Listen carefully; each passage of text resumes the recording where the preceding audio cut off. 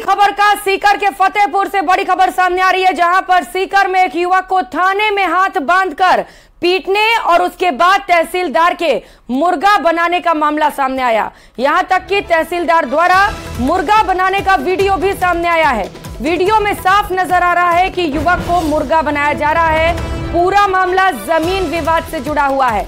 CCTV footage आप देख पा रहे हैं। जानकारी के मुताबिक दादिया थाना इलाके का ये पूरा मामला है। इसमें ज़मीन विवाद के चलते मुकेश नाम के युवक को पुलिस ने पकड़ा था और इसके बाद युवक का आरोप है कि थाने में हाथ बांधकर उसकी पिटाई की गई। देर रात उसे सीकर तहसीलदार के समक्ष पेश किया गया, जहाँ पर तहसीलदार ने उसको मुर्गा बना दिया और उसके साथ गाली गलौज भी की गई। युवक ने इसकी शिकायत कलेक्टर एसपी को की है। वहीं फुटेज सामने आने के बाद कलेक्टर एसपी ने अपने अपने अधिकारियों से जाँच करवाने की भी बात कही है। तो गुंडागर्दी, देखिए जरा, एक बार फिर से यहाँ पर खाकी शर्मसार होते हुए जहाँ पर एक युवक को पकड़ा जाता है, उसकी पिटाई की जाती है और उसे मुर्गा भी बनाया जाता है। ये कौन सा लोकतंत्र है? ये कहाँ का न्याय है?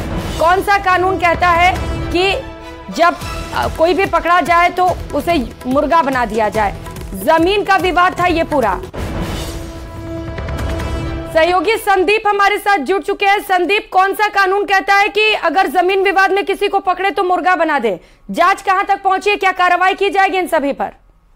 बिल्कुल, देखिए, ये जिस तरह से पीड़ित ने आरोप लगाया है कि वो भाई बहन का जो है वो ज़मीन का विवाद है, कोई नाना की संपत्ति थी उसको लेकर के कहा यह जा रहा है कि पुलिस ने एक सौ इक्यावन में पहले जब बंद किया तो थाने। में मारपीट की और उसके बाद तहसीलदार जब जहाँ फ्लैट में तहसीलदार रहते हैं रात को वहीं पर इसको पेश किया गया हम्म। जहाँ पर पेश किया गया वहाँ पर ये जो है वो मारपीट होने की बात सामने आ रही है कि तहसीलदार ने गाली गलोच की मारपीट की और मुर्गा बनाया मुर्गा बनाने के सीसीटीवी फुटेज मिले हैं उसके बाद में जो पीड़ित है उसने कल शाम को कलेक्टर और एसपी दोनों को मिलकर के शिकायत दी थी डिवीज़न कमिश्नर को भी शिकायत दी थी अधिकारियों का ये कहना है कलेक्टर का ये कहना है कि इस पूरे मामले की जाँच जो है वो एसडीएम को दी गई है हम्म। अगर तहसीलदार की इसमें दोषी पाया जाता है तो निश्चित रूप से कार्रवाई की जाएगी और एसपी का ये कहना है कि डीवाईएसपी को जाँच दी गई है अगर पुलिस ने कहीं मारपीट की है हम्म। तो जो है वो कार्रवाई की जाएगी। हालाँकि पुलिस का कहना है कि थाने में मारपीट नहीं की गई जो अब उसमें बिल्कुल संदीप लेकिन थर्ड डिग्री टॉर्चर की ये तस्वीरें अब सामने आ चुकी है। अब देखना है कि क्या कार्रवाई की जाती है इन सभी पर। बहुत शुक्रिया आपका तमाम जानकारियों के लिए।